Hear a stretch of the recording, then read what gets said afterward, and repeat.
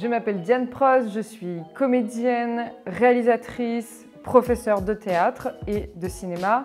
J'ai commencé ma formation en tant que comédienne au cours Florent. Après, j'ai suivi une autre formation avec la compagnie Evry l'Enchanté où je faisais euh, la technique Meissner, la méthode Stanislavski. J'ai travaillé cette formation pendant 3-4 ans et c'est celle aujourd'hui que j'enseigne.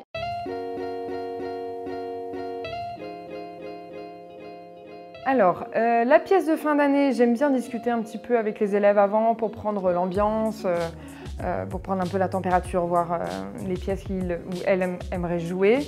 Deuxième chose, j'aime quand même bien que mes pièces soient un petit peu engagées, c'est-à-dire que moi, ce que j'aime dans le théâtre, c'est faire passer des messages. Mais c'est toujours important pour moi de le faire passer avec humour, donc je choisirai toujours ce biais-là parce que je trouve que l'humour permet en fait d'accepter et d'entendre. Si on est dans l'humour, en fait, finalement, on n'a qu'une seule envie, c'est d'écouter et, euh, et c'est très agréable, on relâche et on est plus à même d'écouter. Donc mes pièces sont souvent un peu montées dans ce genre-là.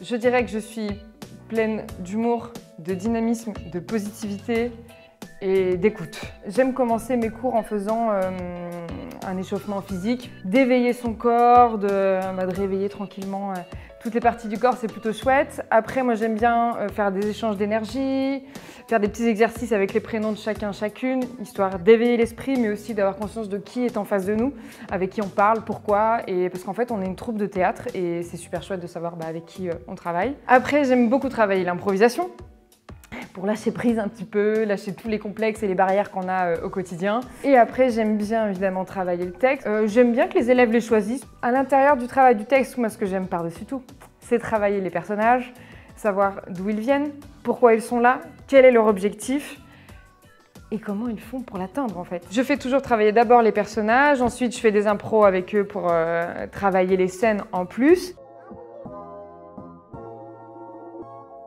Bah, en fait, moi, j'essaierai de savoir déjà pourquoi il hésite, tout simplement.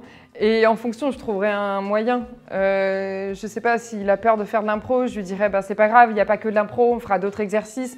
Mais l'impro peut aussi t'amener à lâcher prise sur plein d'autres choses. Et j'entends tellement d'élèves qui me disent ouais, mais moi j'ai peur de l'impro, qu'est-ce que tu penses de tout ce que j'ai fait aujourd'hui? Mais euh, mec, t'as été super génial, t'as osé faire plein de trucs.